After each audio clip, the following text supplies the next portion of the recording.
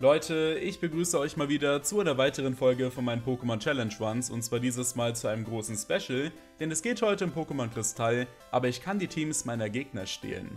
Und das ist schon eine sehr besondere Mechanik. Stell dich vor, es gäbe einen Pokémon Kristall-Hack, der dafür sorgt, dass man jedes Mal, wenn man einen Trainer besiegt, sein Team bekommt und die eigenen Pokémon, die man vorher hatte, einfach so verliert. Und ja Leute, so ein Hack existiert wirklich. Jetzt gibt's nur einen kleinen Haken. Man könnte natürlich das Team, das man geklaut hat, modifizieren und damit dann anzutreten gegen den nächsten Trainer. Man könnte beispielsweise in der Wiese trainieren gehen, man könnte TMs lernen oder beispielsweise weitere Pokémon einfangen, um das eigene Team zu verbessern für den nächsten Fight. Doch was wäre nun, wenn all das verboten ist? Was wäre, wenn man das Team, das man geklaut hat, nicht mehr modifizieren kann und sofort zum nächsten Trainer gehen muss, um da irgendwie klarzukommen? Dann wird tatsächlich die gesamte Johto-Region und auch später die Kanto-Region, die man halt im Postgame noch machen kann, zu einem gigantischen Rätsel. Und es wird sehr, sehr anspruchsvoll. So viel kann ich versprechen, der Run hier ist mega interessant gewesen. Vielleicht einer der coolsten Runs der zweiten Generation, die ich jemals gemacht habe. Der Hack an sich wurde zwar schon mal vorgestellt von einem englischen YouTuber namens Smallland, allerdings durfte der Items verwenden etc. und auch soweit ich weiß ein Team modifizieren. Wir werden es heute allerdings noch ein bisschen härter halten und ich glaube, dass sowas noch nie gemacht wurde. Das einzige, was ich mir tatsächlich erlauben werde, ist halt den Starter zu wählen, also eingeschenktes Pokémon ist nicht vermeidbar und ich darf vor M-Sklaven fangen. Das ist nun mal ganz wichtig, ansonsten könnte man in Softlocks geraten. Und auch wenn es in Kristall vielleicht noch ganz in Ordnung wäre, also dort könnte man sich vielleicht noch irgendwie immer rauswinden, will ich sowas auch mal machen in anderen Generationen und ich würde gerne das Ruleset konstant halten. Ich kann also theoretisch mit jedem Gegner zu jedem anderen gehen, sollte der nicht von anderen Trainern versperrt sein. Das ist so ein bisschen das Grundkonzept und wie das Ganze gelaufen ist, werde ich euch heute erzählen. Aber gut, ich würde sagen, wir starten jetzt mal mit dem heutigen Run. Aber ich kann schon mal eine Sache versprechen, hier fließt eine ganze Menge Taktik mit rein. Der Run hier ist erstaunlich komplex. Und die komplexen Strategien gehen tatsächlich schon direkt los bei der Starterwahl. Ich meine, je nachdem welchen Starter man pickt, hat der Rivale ja auch einen anderen Starter. Und wenn man später sein Team übernehmen möchte an gewissen Punkten in der Story, dann ist es sinnvoll, wenn er einen guten Starter hat und ich habe ihm hier tatsächlich einen Vollriegel gegeben, damit er später in der Siegestraße ein starkes Tonupto haben wird, was zwei Pokémon von Willi, dem ersten Top 4 Mitglied, sehr effektiv angreifen kann.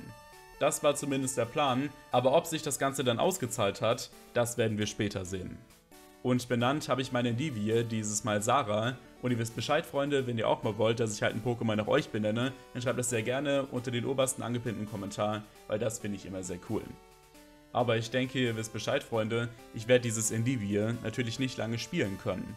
Weil es geht jetzt sofort weiter mit dem ersten Rivalenkampf und der hat jetzt einen Vollriegel auf Level 5. Und wenn ich das besiegen sollte, verliere ich meine Endivir und muss mit Vollriegel weitermachen. Und ja, dieser Kampf hier ist durchaus gewinnbar, er ist aber reines RNG. Je nachdem wie die Gene vom eigenen Pokémon aussehen, also vom eigenen Starter, kann der Kampf leichter oder schwieriger werden. In meinem Fall war es sehr, sehr knapp, ich habe aber gewonnen und musste dann weitermachen mit dem Vollriegel. Und ich kann schon mal eine Sache an der Stelle confirmen, sowohl die DVs als auch die EVs der Gegner werden eins zu eins übernommen, sollte ich ein gegnerisches Team besiegen. Also ich bekomme wirklich exakt die Pokémon, gegen die ich gekämpft habe und ich habe sogar der ihre getragenen Items im Zweifel. Andere getragene Items darf ich aber an meine Pokémon natürlich nicht ausrüsten, weil das eine Modifizierung wäre von den geklauten Pokémon und das ist ja strikt verboten. Nun kommen wir aber auch schon zu einem der großen Probleme bei diesem Run hier und das ist das Early Game. Ich meine, es gibt jetzt zunächst mal einen Pflichtkampf gegen einen Trainer mit einem Topsy und einem Radfratz und den muss man sowieso machen. Danach kann man aber theoretisch schon aufbrechen, ohne weitere Kämpfe, zu der Arena von Falk. Der hat allerdings direkt zu Beginn der Arena einen Trainer postiert mit einem Habitat auf Level 9. Und dieses Habitat war schon häufig Probleme bei meinen Runs in Pazifismusrouten, aber es ist auch heute wieder sehr problematisch. Denn die ganzen Route 1 Trainerteams haben dagegen überhaupt gar keine Chance. Wenn ein komplett überleveltes Habitat hier die ganze Zeit Schnabel spammt mit Step, kann ich dagegen nichts ausrichten. Selbst wenn ich ständig critten würde und ich wusste, ich brauche eine deutlich bessere Lösung, wenn ich den Run irgendwie weiterführen möchte. Es gibt aber natürlich noch eine Sache, die diesen Run hier retten kann, und das ist der Knofensa-Turm. Das ist aber keine angenehme Lösung. Der erste Trainer dort ist leicht zu besiegen, der hat nämlich drei Knofensas auf Level 3. Der zweite Trainer allerdings hat ebenfalls drei Knofensas. Und dann muss man mit Knofensas Knofensas besiegen. Und das immer wieder in diesem Turm, um von Trainer zu Trainer zu kommen. Knofensas resistieren Pflanzenattacken vierfach und Knofensas können nur Pflanzenattacken. Man macht sich gegenseitig also praktisch gar keinen Schaden und es ist die reinste Folter. Es ist aber möglich, nach ewig langem Struggle die Spitze des Turms zu erreichen und gegen den Boss vom Turm anzutreten. Und vorher kann man sogar gegen einen Mönch kämpfen, der noch einen Huthut besitzt. Also man ist nicht nur auf Nufensas angewiesen, wenn man dann gegen den Boss antritt. Ich würde euch bei diesem Kampf hier folgendes empfehlen. Der Gegner leadet hier mit einem Knofensa auf Level 7 mit 10 AP auf seiner Pflanzenattacke und die würde ich eiskalt über Huthut ausstallen. Und wenn das mal gemacht ist, dann hat dieses Knofensa nur noch Wachstum und verschwendet nur noch Runden, wird aber trotzdem nicht auswechseln.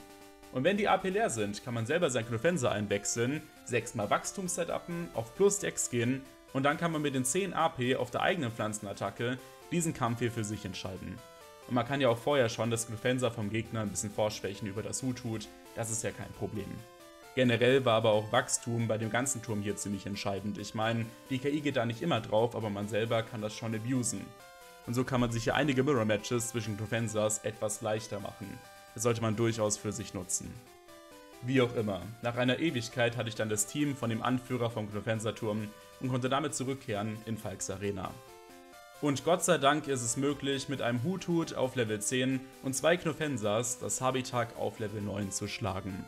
Wäre das nicht möglich gewesen, wäre der Run hier an der Stelle sofort gescheitert. Das muss man leider echt so sagen. Weil kein einziger Trainer auf den Anfangsrouten oder auch im Knofensa-Turm hätte das Habitak hier besiegen können, auch nur ansatzweise konstant. Aber der Anführer vom Knofensa-Turm war Gott sei Dank gerade so stark genug. Und ich meine, auch dieser Kampf hier sieht noch erschreckend knapp aus, weil die Knofensas können natürlich nicht so viel gegen Habitak machen. Der Löwenanteil muss von Huthut ausgehen. Ich konnte jetzt aber zumindest weiterspielen.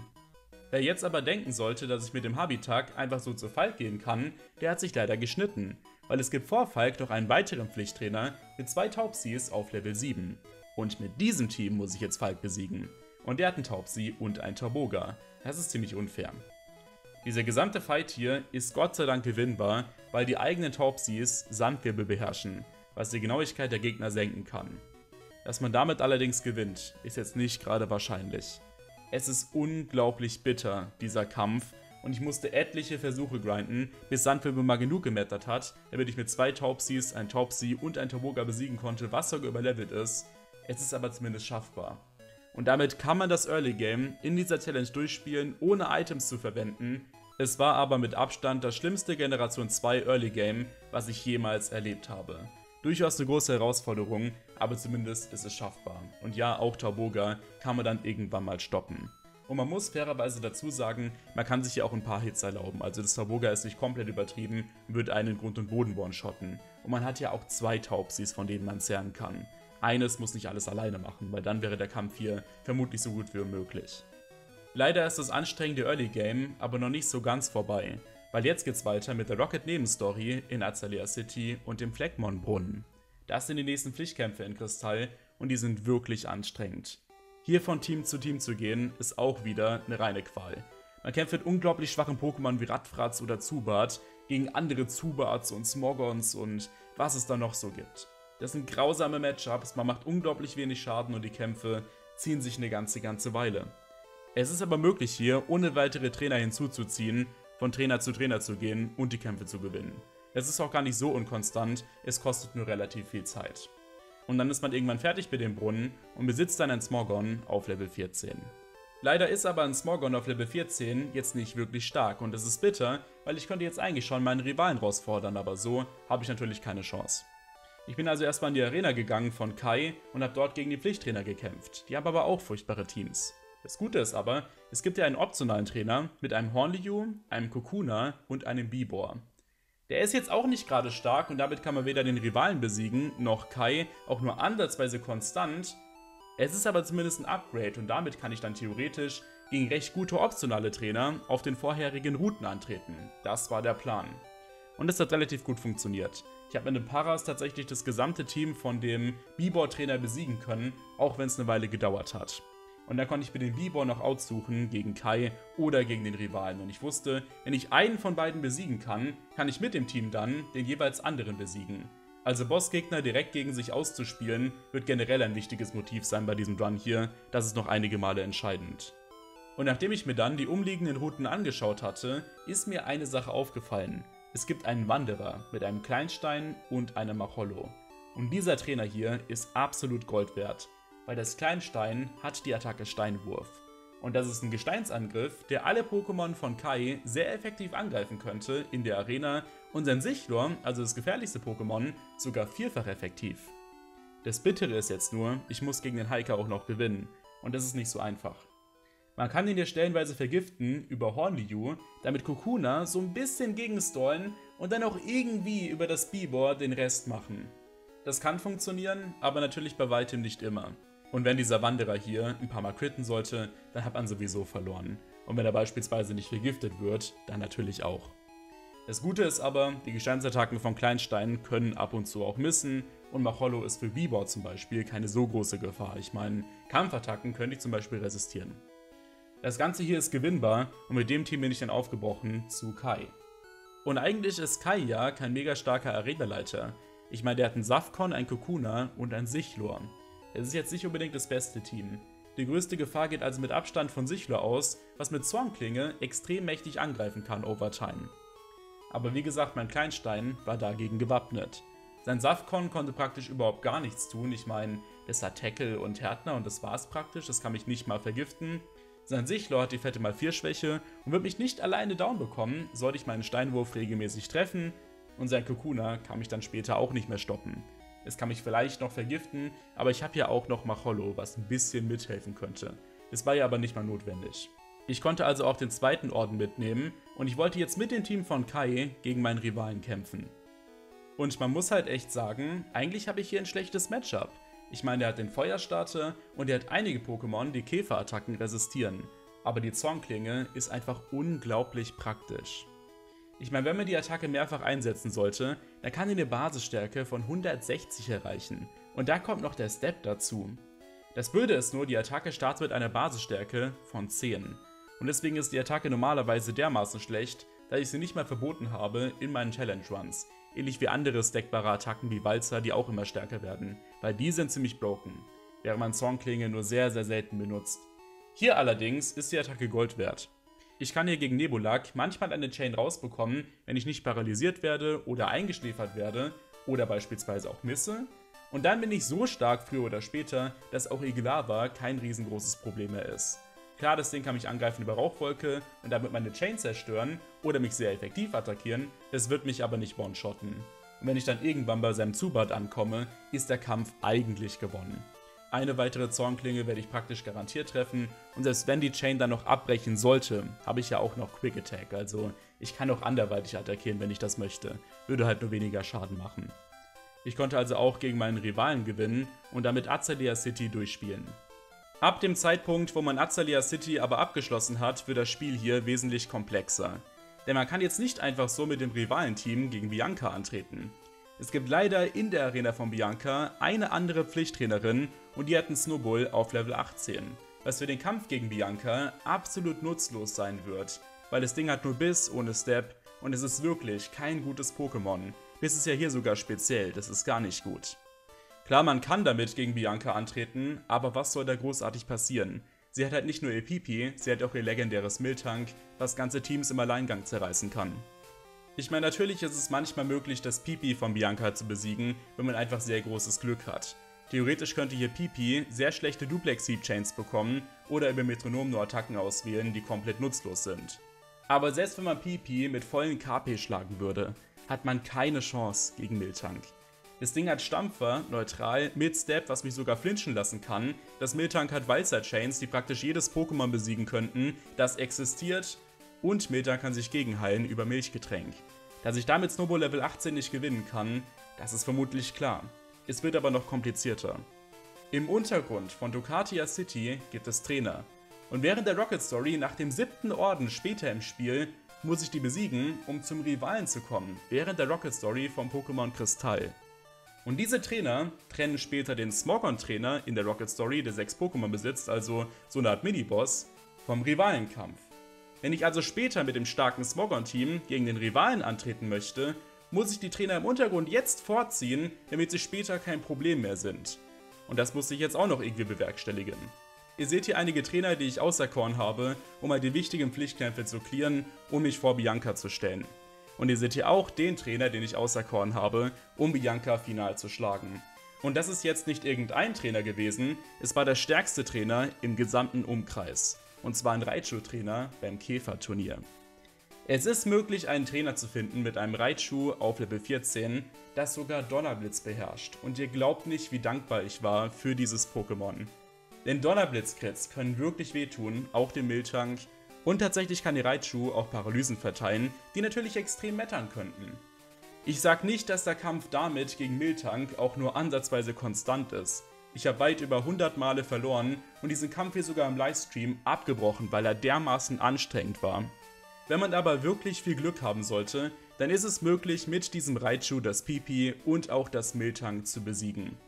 Und ganz ehrlich, ich glaube, wenn es diesen Raichu-Trainer hier nicht gegeben hätte, hätte ich mein Ruleset erweitern müssen, beziehungsweise ich hätte die eigenen Pokémon, die ich geklaut habe, modifizieren müssen. Ich denke nicht, dass irgendein anderer Trainer auf den gesamten umliegenden Routen auch nur ansatzweise eine Chance gehabt hätte, weil selbst dieser Raichu-Trainer hat es fast nicht geschafft. So konnte ich aber die Challenge hier am Leben halten, ohne das Ruleset zu lockern, und ich habe den dritten Orden ganz knapp mitnehmen können und ich hatte ja wie gesagt auch die Trainer vorgezogen im Ducatia Untergrund, was später noch sehr praktisch sein wird. Ausnahmsweise habe ich jetzt aber auch mal gute Nachrichten und zwar ist es möglich mit dem Team von Bianca dann direkt zum Rivalen zu gehen in Teak City, denn es gibt auf dem Weg dahin keine Pflichtkämpfe und im Pokémon Kristall ist der Rivalenkampf Pflicht. Und das ist ziemlich praktisch, weil Biancas Team ist ja nicht übel. Wenn ich hier mit Pipi und Miltank antreten kann, ist dieser Fight hier definitiv gewinnbar. Und ich bin sogar so weit gegangen, ohne Walzer anzutreten, also ohne die beste Attacke vom Miltank überhaupt zu benutzen. Weil Walzer habe ich bei den meisten meiner Runs verboten, da die Attacke komplett broken ist. Die wird ja wie gesagt jede Runde stärker und damit kann man durchaus ganze Teams sweepen, für die man eigentlich viel zu schwach wäre. Wenn ich also Walzer bei meinen Runs erlauben würde, wären die meisten meiner Challenge Runs um ein Vielfaches simpler. Ich würde dementsprechend jedem empfehlen, der Challenge Runs macht, solche Attacken zu verbieten, weil die komplett absurd sind. Einfach null gebalanced. Ja, aber tatsächlich war Miltank dermaßen stark, dass ich Walzer gar nicht gebraucht habe. Den Rivalen konnte ich ziemlich gut besiegen und ich hatte endlich mal wieder ein großes Erfolgserlebnis. Zwei Bossgegner waren weg. Die Frage war jetzt nur, wie geht es weiter mit Jens, weil den kann ich nicht so einfach erreichen. Denn Jens Arena wird blockiert von insgesamt drei Pflichttrainern im Arena-Gebäude, die allesamt Geister spammen. Das sind sehr, sehr unangenehme Gegner. Und ja, den ersten kann ich sofort besiegen mit dem Rivalenteam, aber dann habe ich selbst nur noch Geister und muss schauen, wie ich irgendwie weiterkomme. Und was man auch nicht ganz vergessen darf, ist folgendes. Es gibt noch deutlich mehr Pflichtkämpfe, die man vor Jens erreichen kann. Beispielsweise die Kimono Girls in Teak City, aber auch die Kämpfe im Leuchtturm von der Stadt von Jasmin. Denn um später Jasmin zu erreichen und um ihr Ampharos zu healen im Leuchtturm, muss man sich erstmal den Leuchtturm hochkämpfen. Und all diese Fights kann man vorziehen, um später Bosskämpfe aneinander rein zu können. Und das wollte ich jetzt erstmal so ein bisschen ermöglichen. Ihr seht hier die ausführliche Trainer-Chain, mit welchem Trainer ich jeweils zum nächsten gegangen bin, um mich da irgendwie durchzuarbeiten. Es hat funktioniert und über die Kimono Girls kann man sich gezielt Pokémon holen, die einzelne Matchups sehr gut outen können. Und auch die Geistertrainer in der Arena habe ich so relativ gut bewältigen können. Die große Frage war halt nur, wie zur Hölle soll ich Jens besiegen? Ich meine ganz im Ernst, Leute. Wenn ich nämlich einen Trainer übernehmen sollte mit einem richtig guten Pokémon, wie beispielsweise das Nachtara von Kimono Girls oder einen Pantimos-Trainer, links von Teak City, dann kann ich damit theoretisch die Pokémon von Jens sehr effektiv angreifen. Der spammt allerdings Fluch. Wenn ich also ein einmaliges Out haben sollte, kann ich damit unmöglich gewinnen. Es gibt jedoch eine kleine Hoffnung. Und zwar gibt es links von Teak City einen Dodo-Trainer mit insgesamt drei Dodos auf Level 15, 16 und 17. Und dieser Trainer hier ist absolut Gold wert. Der ist besiegbar ohne Probleme über Nachtara, zumal die KI auch nicht allzu gut ist, also das kann schon funktionieren. Und mit diesen drei Dodos kann man dann gegen Jens antreten. Wie gesagt, Freunde, es ist eine Geisterarena. Ich kann die neutral angreifen über Flugattacken und bin selber immun gegen Geistattacken. Und dadurch, dass ich mehrere Pokémon habe, kann ich nicht so leicht geoutet werden von simplen Fluchspammen. Jens hat also eine sehr anstrengende Zeit gegen mich. Es geht aber noch weiter. Die Geister-Pokémon von Jens haben sogar dermaßen wenig Outs gegen mich, dass ich die komplett schießen kann. Ich meine, die einzigen Attacken, die die Geister gegen mich nutzen können, sind wie gesagt Fluch, dann kann ich einfach so auswechseln, sowie Hypnose und Traumfresser, eine Psychoattacke mit sehr gutem Basisschaden. Wenn ich aber ein Pokémon reinwechsel, was eingeschläfert werden kann, da kann ich es sofort rausswitchen, sobald es schläft, wenn der Gegner versucht Traumfresser einzusetzen. Und das neu eingewechselte Pokémon schläft er logischerweise noch nicht. Von daher ist Traumfresser wirkungslos und ich bekomme eine gesamte Runde geschenkt und kann die BP des Gegners ausdollen. Und wenn der Gegner dann versuchen sollte, mein neues Pokémon auch einzuschläfern, kann ich einfach wieder zum Schlafenden wechseln und da wird mein schlafendes Pokémon von Hypnose getroffen und auch dieser AP verpufft. Und wenn man diesen Trick anwenden sollte, dann ist es möglich, über die drei Dodus Jens komplett auszustallen und zu besiegen. Es ist ein mega langer Fight und ich glaube, so gut wie kein anderer Trainer auf den gesamten umliegenden Routen hätte hier eine Chance gehabt. Aber diese drei Dodos hier waren absolut Gold wert. Und ich konnte damit jetzt auch den vierten Orden von Jens holen, den ich komplett zu Tode gecheased habe. Bisschen lächerlich, aber bei solchen Challenge Runs können solche witzigen Situationen recht häufig entstehen, weil eigentlich sollte so ein Dodo-Trainer hier natürlich bei so einer Arena keine Chance haben. Es gibt jedoch noch einen weiteren netten Grund, weshalb ich dermaßen viele Kämpfe vor Jens vorgezogen hatte. Und das ist tatsächlich Ornis in Anemonia City. Der Kampf gegen Ornis ist komplett optional. Ich wollte ihn aber in die Challenge hier einflechten, weil er ganz cool ist und halt wirklich reiner Fanservice. Und wenn wir schon Kristall spielen, kann ich den Kampf hier auch machen. Und wenn man die Kimono Girls vorziehen sollte, kann man sofort mit dem Team von Jens gegen Ornis kämpfen, was noch coolerer Fanservice ist. Natürlich ist der Kampf hier aber nicht allzu schwierig, wenn man das Ganze so macht, weil das Gengar von Jens dermaßen OP ist, dass der Sieg hier kein Thema ist. Dadurch, dass ich aber Jens Team sowieso für keinen anderen Bosse wirklich verwerten kann, macht es denke ich Sinn, damit zumindest Ornis zu schlagen, als kleines schönes Detail für dieses Video. Und mit dem Team von Ornis ging es dann logischerweise weiter. Natürlich gibt es aber auch einige Probleme, die daraus resultieren, und zu denen kommen wir jetzt. Die Kampftrainer in Hardwigs Arena gegeneinander auszuspielen und schon mal abzuhacken, das ist nicht allzu schwierig. Aber die Rocketrüpel am See des Zorns sind unglaublich anstrengend. Weil mit dem Team von dem einen Rocketrüpel den nächsten zu besiegen, ist nicht immer so einfach. Weil mit Radfratz, Zubat und Co. andere Radfratz, Zubats und Co. zu besiegen, ist nicht immer konstant und kann sehr, sehr lange dauern. Diese schwachen Gift-Pokémon, Radfratz und so weiter sind einfach furchtbare Pokémon. Und wenn man beispielsweise im Eingangsbereich von einem Rocket versteckt die Statuen deaktivieren möchte, die die ganze Zeit Rüpel spawnen, die man nur sehr schwer besiegen kann, muss man dafür einen Forscher besiegen, der einen Laptop hütet, bei dem man die Statuen deaktivieren kann. Dieser Forscher hat allerdings Magnetilos, die man fast nicht losbekommt. Es ist aber möglich, links von Mahagonia City einen Hiker zu besiegen mit einem Dictri, und ja, damit kann man dann Gott sei Dank diese Magnetilos besiegen, die Statuen deaktivieren und weitermachen. Das ist aber nicht das einzige Problem an See des Zorns bzw. bei der Rocket Story hier. Und zwar gibt es beispielsweise einige recht starke Rüpel, die Passwörter hüten. Und der letzte davon hat ein sehr gut geleveltes Radikal. Und das Beste, was man sich vor diesem Rüpel holen könnte, wäre vermutlich ein leicht schwächeres Radikal, also ein sehr, sehr unfaires Mirror-Match, das kann nicht so wirklich funktionieren, zumal der mit dem stärkeren Radikal auch noch weitere Pokémon besitzt. Und ich habe dann die Trainer auf den umliegenden Routen abgeklappert und ich habe Gott sei Dank bei den Strudelinseln einen Schwimmer gefunden, der ein Sterndu und ein Stami hatte. Und das Pokémon war dann stark genug, um den Radikaltrainer aufzuhalten.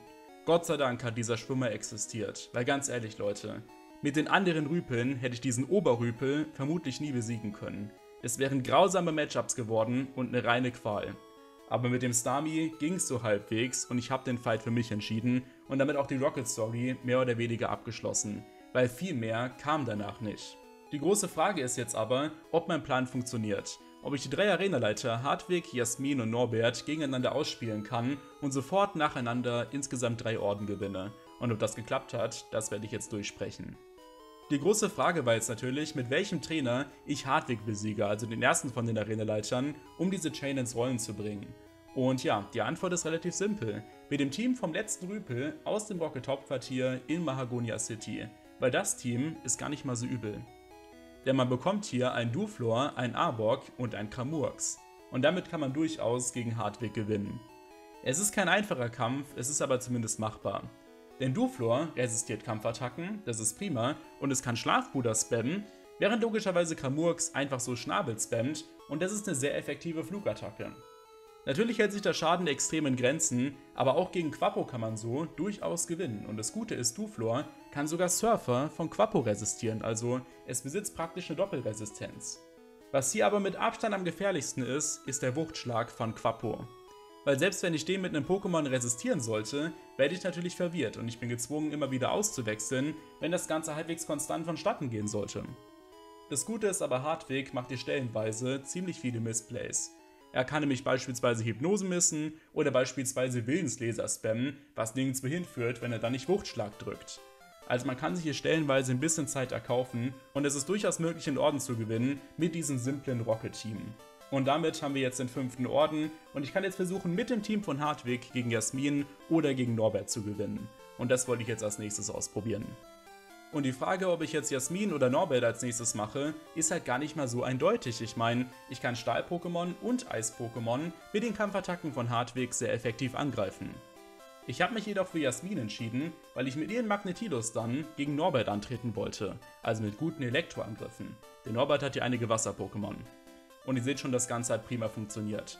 Rasaf hat hier ohne Probleme die Magnetilos besiegt von Jasmin und ist dann an Stalos gestorben und Stalos konnte ich aufhalten mit Surfer-Spam von Quapo. Sehr effektive Wasserattacke, es ist sogar speziell, dagegen kann Stalos relativ wenig machen. Es hat zwar Sonnentag, um die Attacke abzuschwächen, aber der Schaden ist trotzdem enorm. Und auch wenn sich diese Stalos hier noch einmal gegenheilen konnte, hat es einfach auch keine Aus gegen Quapo, rein offensiv. Ich meine, Stahl und Gestein kann ich resistieren und viel mehr Coverage bietet diese Stalos einfach nicht. Also der Fight hier war dann entschieden und ich konnte in kürzester Zeit zwei Orden mitnehmen, was schon mal ein sehr guter Start war in diesen ganzen Arena-Sweep.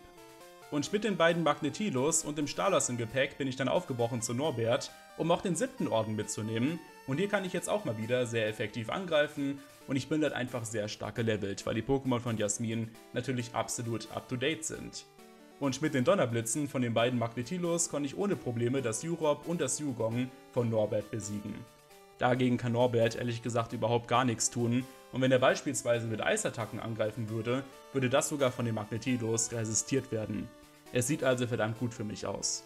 Und wenn dann früher oder später das Keifel eingewechselt wird, also das Ace-Pokémon von Norbert, dann kann das vielleicht die Magnetilos töten.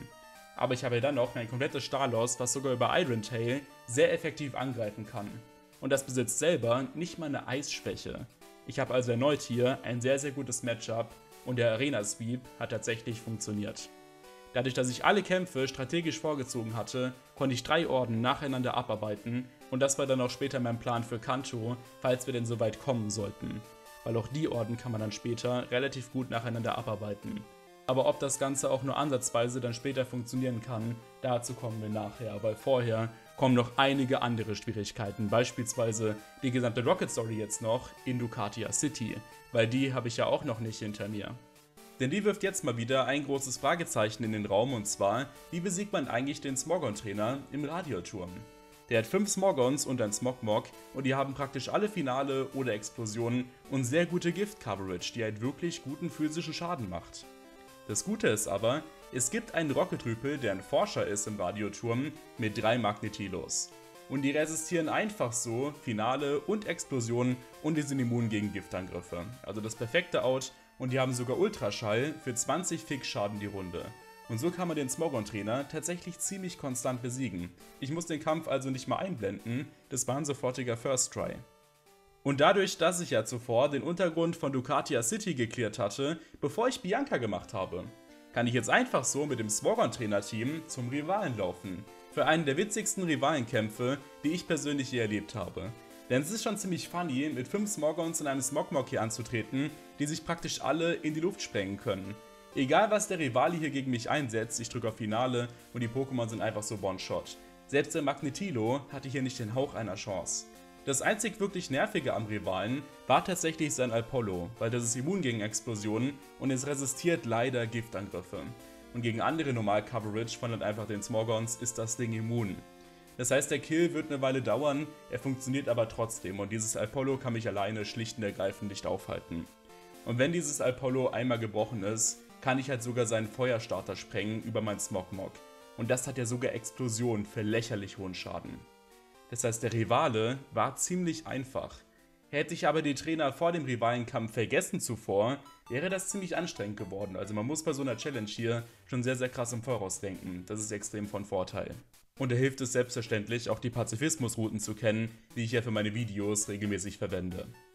Natürlich ist aber die Rocket Story noch nicht ganz zu Ende, nachdem man den Rivalen besiegt hat. Es kommen dann noch unfassbar viele weitere Pflichtkämpfe gegen Rocket-Rüpel, die man zwangsläufig absolvieren muss. Und das kann eine ganze Weile dauern. Ich kann an der Stelle confirmen, es ist möglich, die Rüpel gegeneinander auszuspielen und die Kämpfe hier allesamt zu gewinnen. Es wird aber einfach eine ganze Menge Zeit fressen. Ich kann es nur immer wieder betonen, die Rocket-Rüpel sind dermaßen schwach, dass es nicht angenehm ist, hier diese Mirror-Matches zu spielen. Das Gute ist aber, zur Spitze des Radioturms hin, also zum Finale hin, werden die Teams besser von den Rüpeln und damit kann ich dann besser handhaben gegen die stärkeren Gegner. Man kommt also halbwegs klar, es ist nur ein bisschen nervig. Der Radioturm ist aber definitiv absolvierbar und man muss auch nicht wirklich weitere Kämpfe hinzuziehen von außerhalb. Das funktioniert eigentlich ganz okay. Doch gerade als ich dachte, dass es mal gut läuft, kam leider die 8. Arena und das ist jetzt die Drachenarena von Sandra. Und die ist einfach nur furchtbar für diese Challenge. Denn es gibt hier praktisch gar keine Auswahl.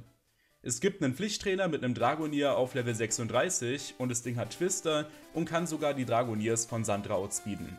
Das ist mit Abstand das Beste, was ich hier bekommen werde. Und damit muss ich jetzt gegen Sandra antreten. Und das ist natürlich lächerlich unkonstant.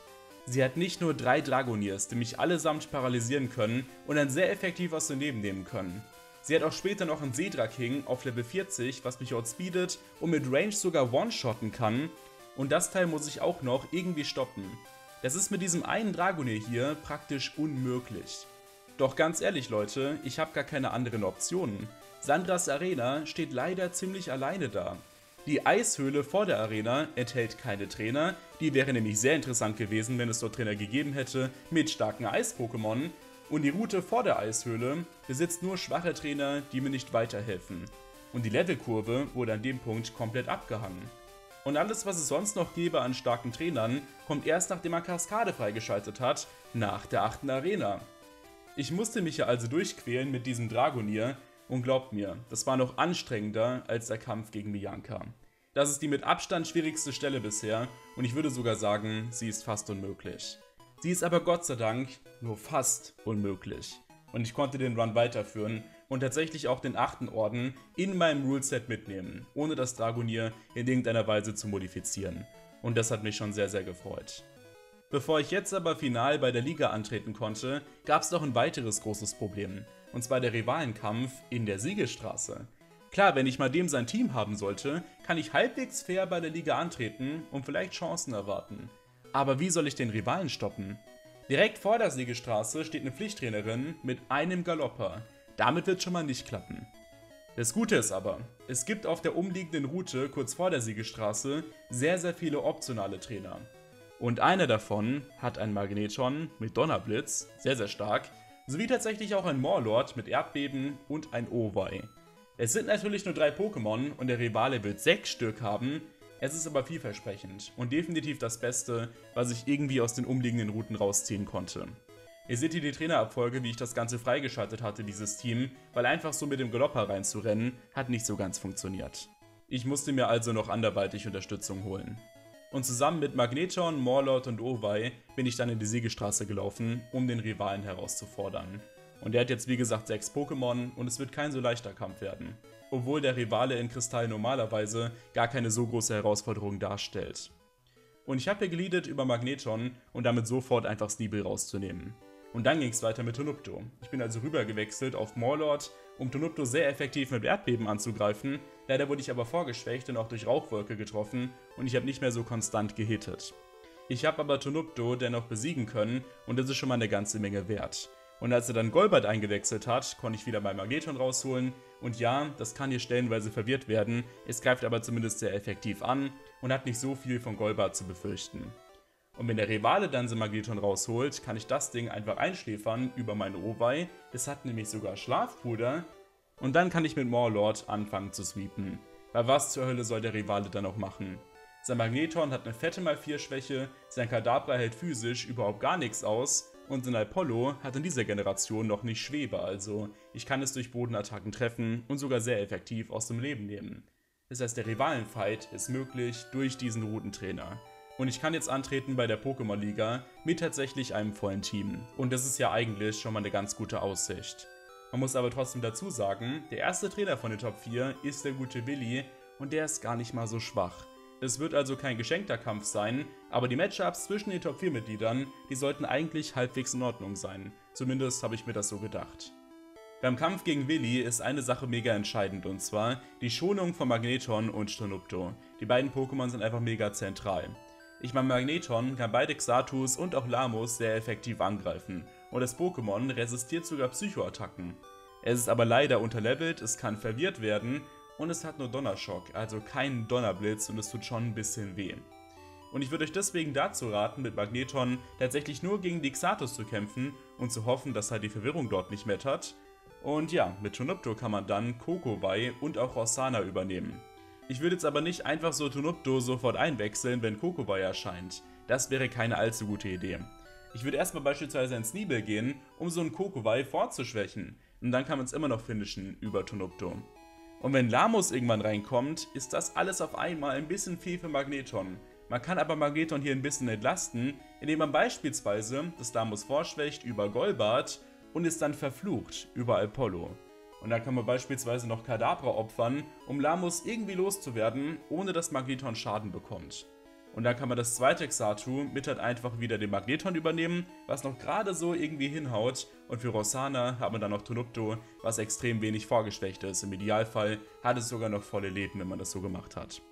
Wenn man also Magneton und Tonupto möglichst gut schonen sollte, ist der Kampf hier durchaus gewinnbar. Es ist aber ein sehr taktisches Battle und es war einer der coolsten Kämpfe aus der Challenge, würde ich fast sagen. Ein Kampf auf Augenhöhe, bei dem ich viel taktieren musste. Danach kam aber der Kampf gegen Koga und das ist das genaue Gegenteil.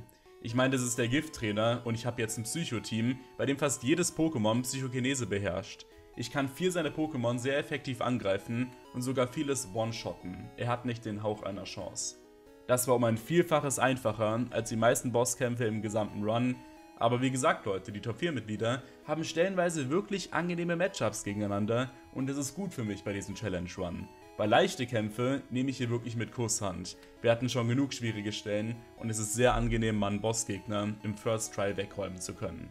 Und auch sein Forstelka konnte hier überhaupt gar nichts tun, weil das ist offensiv einfach kein gefährliches Pokémon. Und Überraschung, der Kampf gegen Bruno, der ist jetzt auch nicht mega schwierig. Ich meine, das ist ein Kampftrainer und Koga hat einen X-Bart. Das ist ein Giftflug-Pokémon, was Kampfattacken vierfach resistiert und mit Flugattacken sehr effektiv angreifen kann. Und jetzt werden einige Leute vielleicht sagen, okay, was ist denn mit Onyx, aber dafür habe ich Ariados mit Gigasauger, was vierfach effektiv angreifen kann. Man muss dazu erwähnen, fairerweise, dass Machomai von Bruno beherrscht Steinhagel und das kann sehr viel Schaden machen. Und da kann X-Bart theoretisch auch zugrunde gehen, wenn es beispielsweise weggecrittet wird. Aber ich habe hier noch drei weitere Pokémon neben X-Bart und Ariados und dieser Fight hier sollte normalerweise nicht mal knapp sein. Also auch dieses Top 4 Mitglied konnte ich sehr sehr leicht schlagen aber Bruno ist ja bekannt dafür, jetzt nicht unbedingt der beste Trainer zu sein. Das Bittere ist jetzt nur, ich muss mit seinem Team weiterspielen. Aber wie sieht denn das nächste Matchup so aus? Der vierte Kampf findet jetzt gegen Melanie statt und das ist eine Unlichttrainerin, die ich mit Kampfattacken sehr effektiv angreifen kann. Das Dumme ist nur, sie hat nicht nur Unlicht-Pokémon. Sie hat aus irgendeinem Grund hier auch ein Giflor und ein Gengar. Das macht eigentlich nicht so viel Sinn und ich muss jetzt irgendwie damit klarkommen, aber hey, was will man machen? Ich kann hier immerhin Onyx opfern bei dem Giflor und dann Nocturne einwechseln, um Ice Punch beispielsweise zu spammen und dann kann ich auf einen Freeze hoffen. Das Bittere ist aber, die Elementarschläge sind in der zweiten Generation alle speziell gewesen und Nocturne hat praktisch gar keinen Spezialangriff. Das Pokémon ist praktisch kompletter Müll, obwohl es die Omni-Coverage hat. Bisschen bitter, aber trotzdem kann man theoretisch Giflor besiegen über Ice Punches, weil ein bisschen Schaden wird man ja durchaus verursachen. Und wenn sie dann irgendwann Gengar einwechseln sollte, dann kann ich das besiegen über Schaufler von Capoeira. Das ist nämlich ein guter Bodenangriff. Und ja, man kann dieses Gengar sogar vorschwächen, bereits mit anderen Pokémon, indem man es einfach zu Fluch zwingt, weil das Gengar hat praktisch gar keine offensiven Moves, was ein bisschen lächerlich ist, aber ja, das Ding kann praktisch nur Schlecker einsetzen.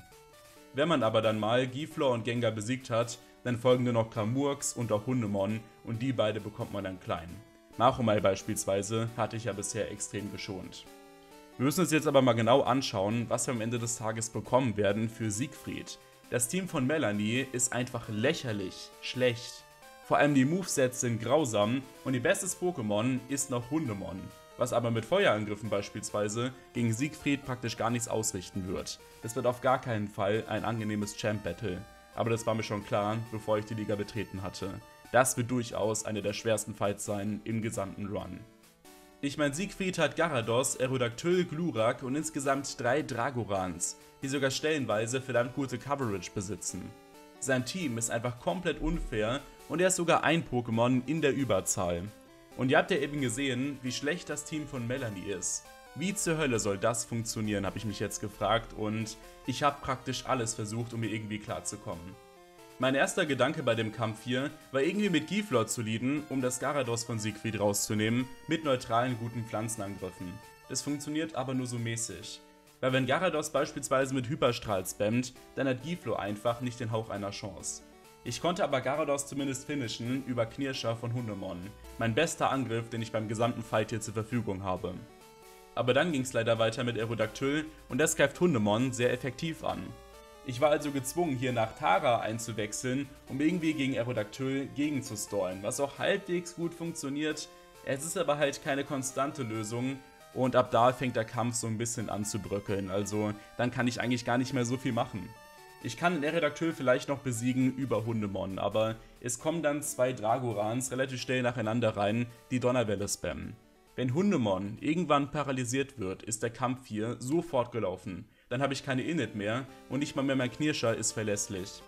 Und ja, ich kann vielleicht noch einen Dragoran besiegen über Abgangsbund von Gengar, das ist relativ nett, aber es löste nicht alle Probleme. Und es kommen ja auch noch Glurak und ein drittes Dragoran, was unter anderem Wutanfall spammen kann es ist komplett unfair. Ich hatte nicht den Hauch einer Chance und ich dachte mir plötzlich, okay, hier wird der Run vermutlich scheitern. Doch dann bin ich auf eine Lösung gekommen, die dermaßen absurd ist, dass es fast schon feierbar ist. Und ich habe quasi Hundemon zum König meines Teams ernannt. Ich habe zunächst mal mit Hundemon Gyarados geoutet, was manchmal funktionieren kann. Er kann ja beispielsweise weggekrittet werden durch Knirscher oder einfach Spats Death Drops bekommen und das kann ich für mich nutzen. Und Gyarados kann auch stellenweise seine Attacken missen. Und wenn es dann weitergeht zu Aerodactyl, kann ich das Ding vorschwächen über Nachtara und vielleicht sogar seine Genauigkeit senken, wenn ich das möchte, über Sandwirbel. Und dann kann ich Aerodactyl irgendwann rausnehmen, ebenfalls mal wieder über Hundemon. Und wenn dann das erste Dragoran eingewechselt wird, gehe ich in Giflor. Und ich paralysiere dieses verdammte Dragoran und werde es ein bisschen vorschwächen über Giflor. Es ist ein mega ekelhaftes Matchup und das Ganze hier wird bei weitem nicht immer funktionieren. Ich kann mich aber auch ein bisschen gegenheilen, um vielleicht mit Giflor eine Weile im Kampf drin zu bleiben. Und dann kann ich dieses Dragoran wieder finishen, erneut über Hundemon. Und wenn dann Siegfried sein zweites Dragoran einwechselt, habe ich dafür Gengar mit Abgangsbund. Es ist also manchmal möglich, die beiden Donnerwelle Dragorans zu outen, ohne eine Paralyse auf Hundemon zu bekommen. Und auch ohne Hundemon zu wirklich zu belasten. Das ist schon mal ein sehr guter Start in diesen Fight, würde ich sagen. Und wenn es dann weitergeht mit Glurak, habe ich logischerweise keine Feuerschwäche, ich würde die Attacke resistieren und ich kann so mit Glurak einfach two-shotten, ohne allzu viel davon zu befürchten. Ich werde aber vorgeschwächt. Und wenn es dann zum letzten Dragoran geht, kann ich das mit Knirscher noch ein, zwei Mal angreifen, vielleicht seine Spad-Staff senken und es hoffentlich mit Gramurks finishen. Das Ganze ist bei weitem keine konstante Lösung, aber es ist mit Abstand das Beste, was ich aus Melanies Team rausholen konnte. Und damit ist es möglich, Siegfried zu besiegen. Nach sehr, sehr vielen Versuchen und viel Geduld. Aber es ist zumindest machbar. Wir können also festhalten, die Team Cloud Challenge in Pokémon Kristall ist durchaus gewinnbar, beziehungsweise man kann die Johto-Liga durchspielen. Das war es aber natürlich noch nicht so ganz. Es gibt noch ganz Kanto und Kanto ist heute wesentlich aufregender, als es normalerweise bei Challenge Runs der Fall ist. Ich meine, die Kanto Arena Leiter sind ja komplett unterlevelt und es sind normalerweise keine echten Gegner, bis auf Blau Eich und dann kommt ja später noch Trainer Rot. Bei dieser Challenge hier allerdings muss ich ja jedes Mal mein Team aufgeben und ich kann jetzt nicht einfach so mit Siegfrieds Drachen gefühlt ganz Kanto abfackeln. So einfach ist es nicht. Und dementsprechend war Kanto dieses Mal ein erstaunlich großes Rätsel und ich musste jetzt schauen, wie ich die Arenaleiter nach und nach abfrühstücken kann. Und hier kommt mal wieder das Ausspielen der verschiedenen Bosskämpfe zu Trage. Es ist nämlich möglich, praktisch alle Kämpfe in der Kanto-Region einfach so fortzuziehen. Das Ganze ist mehr oder weniger eine kleine Open World, wo man sich frei bewegen kann und man kann die Trainer, die halt irgendwelche Arenaleiter blockieren, allesamt machen, bevor man sich einen Kanto-Orden geholt hat. Und dementsprechend kann man hier schon mal sehr viel Vorarbeit leisten. Ihr seht hier unglaublich viele Pflichttrainer, die ich gemacht habe, um den Weg zu allen Arenaleitern gleichzeitig zu enablen, damit ich halt dann von Arenaleiter zu Arenaleiter laufen kann. Das war zumindest der Plan. Und ich habe mich entschieden, zu allerletzt den letzten Pflichttrainer zu machen bei der Nuggetbrücke, also oberhalb von Azuria City, weil der hat einen Porygon. Und das werde ich jetzt tatsächlich brauchen. Es gibt nämlich jetzt einen kleinen Trick, um in die Arenaleiter einzusteigen und den ersten von denen zu besiegen. Rechts von Fuxania City gibt es nämlich einen Trainer mit einem Simsalam und das ist absolut Gold wert. Man kann diesen Trainer besiegen, mit dem Porygon beispielsweise, deswegen habe ich das hervorgehoben, und dieser Simsala-Trainer ist mächtig genug, um Janina aufzuhalten. Und wenn man nicht glaubt, soll sich jetzt diesen Kampf hier anschauen. Janina ist tatsächlich keine mega gut gelevelte Trainerin. Ihr wisst ja, die Kanto Arenaleiter sind stellenweise absurd unterlevelt, aber Janina zieht dem Ganzen die Krone auf. Es ist absurd. Sie hat sehr viele Pokémon, aber die können praktisch nichts im Alleingang. Wenn ich also mit Simsala hingehen sollte, ist der Kampf plötzlich gewinnbar. Und ich kann einfach mal so den ersten Kanto-Orden holen. Und das ist ziemlich entscheidend gewesen, weil so bin ich eingestiegen in die Arenaleiter und ich konnte ja jetzt nacheinander einen Orden nach dem anderen holen, theoretisch, wenn meine Taktik aufgehen sollte. Und ich bin dann mit Janina zu Erika gegangen, weil Erikas Pokémon haben gegen Gift absolut keine Chance und das X-Bad von Janina beispielsweise kann Pflanzenattacken vierfach resistieren. Und mit dem Team von Erika bin ich dann zu Rocco gegangen, weil die hat nur Pokémon mit einer 4 Schwäche gegen Pflanze. Also Erika kann Rocco komplett zerstören ohne irgendeine Schwierigkeit. Und nach Rocco kann man dann zu Pyro gehen, der eine fette Bodenschwäche besitzt. Ich meine, Rocco hat beispielsweise ein recht starkes Georock mit Erdbeben. Da hat Pyro ehrlich gesagt überhaupt gar keine Chance. Wo es aber dann ein bisschen kniffliger wird, ist bei Sabrina, weil das ist eine Psychotrainerin ohne viele Schwächen. Man kann aber relativ gut mit dem Team von Pyro gegen die gewinnen, hauptsächlich über Galoppa. Und mit dem Team von Sabrina hält man dann Major Bob auf, um zu allerletzt logischerweise die gute Misty zu besiegen. Und ja, das Team von Major Bob ist jetzt auch nicht wirklich mega gefährlich. Ich würde sagen, das ist auch eine der schwächsten Kanto-Arena-Leiter in halt einfach der zweiten Generation. Und dass Misty natürlich keine allzu große Chance hat gegen ein Elektro-Team, ist vermutlich jedem klar. Sie hat zwar einen Morlord, also ein Wasserboden-Pokémon, aber das kann ich unter anderem sprengen über die Elektroballs von Major Bob, also das ist auch kein Thema. Und ich habe nicht umsonst Misty auserkoren als letzten Arenaleiter, den ich in Kanto mache. Aber mit Mistys Team kann man jetzt relativ gut gegen Blau Eich antreten und ich hatte da einiges vor. Denn ich musste natürlich gut im Voraus überlegen, wie ich Blau Eich angehe. Er ist ja durchaus einer der stärksten Trainer im gesamten Spiel. Und er ist sogar vielleicht noch mächtiger als der gute Siegfried. Der große Schlüssel, um Blau-Eich besiegen zu können, ist das Starmie von Misty, weil ich denke, das ist wohl das einzige Pokémon der gesamten Kanto-Region, das Blau-Eich theoretisch sogar im Alleingang besiegen kann. Deswegen Surfer und Icebeam sowie Konfusstrahl und Genesung verdammt gutes Moveset. Damit kann man Taubos sehr effektiv zerstören, Kokowai genauso, weil das Pokémon will Solarstrahl aufladen und wird da definitiv nicht zu kommen. Und dann kommt Simsa da rein. Simsalas Psychoattacken kann man Starmie einfach so resisten und sich regelmäßig gegenheilen über Genesung, während man Simsala einfach verwirren kann über Konfusstrahl und dann kann man das zuspammen mit Surfer und Icebeam, bis Simsala irgendwann besiegt ist. Man muss aufpassen, das Ding hat auch Aussetzer und das könnte Genesung treffen, da muss man sehr vorsichtig sein, aber ansonsten hat man hier relativ wenig zu befürchten, außer man würde komplett in Grund und Boden gecrittet werden oder man bekommt beispielsweise Spad Death Drops, das wäre ziemlich bitter. Man muss aber auch ein bisschen darauf achten, hier nicht PP-Stall zu werden, weil der Simsala kann ebenso Recover spammen, um sich ständig gegenzuheilen. Dadurch, dass man aber hier Konfusstrahl hat und die KI auch nicht perfekt spielt, ist es relativ unwahrscheinlich, mega lange bei Simsala zu sitzen, also irgendwann sollte das mal besiegt sein. Und dann geht's weiter mit Garados. Und wenn man dieses Garados hier noch besiegen sollte, erfolgreich mit Starmie, hat man gewonnen, weil die restlichen Pokémon haben eine Wasserschwäche. Und ja, Starmie kann tatsächlich Garados komplett ausstallen. Das Garados hat zwar Hyperbeam, aber die Attacke haut mich stets nur in den roten Bereich. Und es ist komplett egal. Über Recover kann ich mich einfach komplett gegenheilen, bis Garados wieder angreifen darf, um halt dann den nächsten Hyperbeam zu tanken. Und wenn diese 5 Hypersträhle mal leer sein sollten, und die können die auch stellenweise missen, dann hat dieses Garados nur noch Hydropumpe und vielleicht Twister, um mich anzugreifen, was gegen ein Wasserteam ziemlich hart nutzlos ist. Gerade die Hydropumpen kann man hier sehr leicht ausstallen und dann einfach Garados langsam aber sicher besiegen. Klar, Stami kann ja auch nicht so viel Damage drücken jede Runde und Blau-Eich kann jedoch das Garados gegenheilen, aber es ist halt an irgendeinem Punkt einfach gebrochen. Und wie gesagt, wenn man dieses Garados besiegt haben sollte, ist der Kampf praktisch entschieden. Es kommt dann noch Rizeros mit einer mal 4 Schwäche, das kann dir gar nichts gegen mich ausrichten. und es kommt noch Akani mit Extreme Speed. Das two-shotte ich mit den weißen Wasserattacken hier und ich konnte es sogar schaffen, mit dem Stami alleine das gesamte Team von Blau-Eich zu besiegen, was schon ziemlich heftig ist, weil es hätte nicht so viele Alternativen gegeben, denn die meisten anderen Kanto-Arena-Leiter hätten hier jetzt nicht so gut ausgesehen. Man hätte theoretisch noch den Rivalen holen können aus dem Mondberg, das wäre noch halbwegs solide gewesen, hätte man ein ganz okayes Team gehabt, mit dem man es probieren könnte, aber ich bin ganz froh, dass es Misty einfach so geschafft hat. Doch wie zur Hölle gewinnt man jetzt gegen Trainer Rot? Ich meine, der ist komplett überlevelt. Sein Pikachu ist auf Level 81, er hat ein volles Team und seine anderen Pokémon sind im tiefen 70er Bereich. Und er hat stellenweise so Tanks dabei wie Relaxo, die ich nicht mal sehr effektiv angreifen kann. Wie soll das funktionieren, frage ich euch. Naja, mit folgender Strategie.